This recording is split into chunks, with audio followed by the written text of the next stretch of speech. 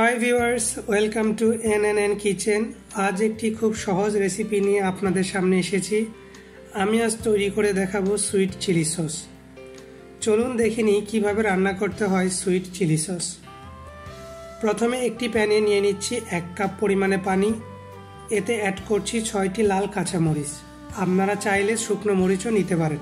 এবার কাঁচামরিচগুলোকে আমি পাঁচ মিনিট বয়ল করে নিচ্ছি। এবার এই সেদ্ধ করা কাঁচামরিচগুলোকে আমি একটি ব্লেন্ডারে ব্লেন্ড করে নিচ্ছি। খুব সামান্য পরিমাণে ব্লেন্ড করে নেব আমরা। খুব বেশি ব্লেন্ড করা যাবে না, তাহলে এটা একটা পেস্ট হয়ে যাবে। এবার একটি গ্লাসে নিয়ে নিচ্ছি দুই চা চামচ কর্নফ্লাওয়ার। এতে অ্যাড করছি দুই চা চামচ পানি। এবারে মিশ্রণটিকে খুব ভালোভাবে মিশিয়ে নেব। এবার প্যানে নিয়ে নিচ্ছি ব্লেন্ড করা সম্পূর্ণ মরিচের মিশ্রণটি। এতে অ্যাড করছি এক টেবিল চামচ রসুন কুচি ওয়ান থার্ড কাপ চিনি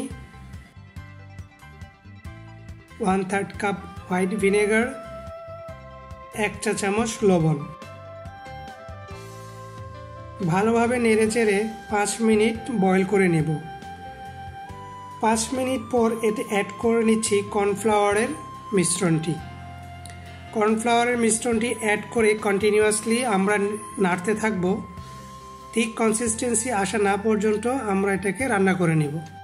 দেখুন, তৈরি হয়ে গেল সুইট চিলি সস এই চিলি সসটি আপনারা এক মাস পর্যন্ত প্রিজার্ভ করতে পারবেন। যে কোনো প্রকার স্ন্যাক্স অথবা স্যুপের সাথে এই চিলি সস আপনারা ইউজ করতে পারেন। Thanks for watching